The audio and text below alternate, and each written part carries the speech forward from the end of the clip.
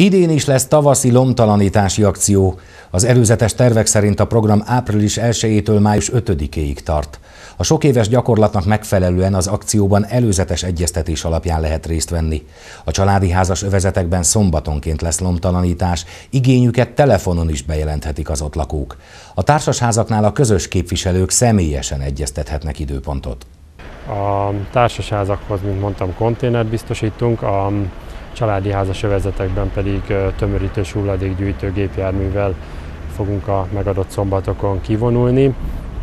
Fontos, hogy aki lejelentette a, a lomtalanításra az igényét, az csak a lejelentett nap reggelén helyezze ki a hulladékot, illetve ezt olyan formában tegye meg, hogy a közlekedés biztonságát nem zavarja, illetve hulladékgyűjtő autóval könnyen megközelíthető legyen.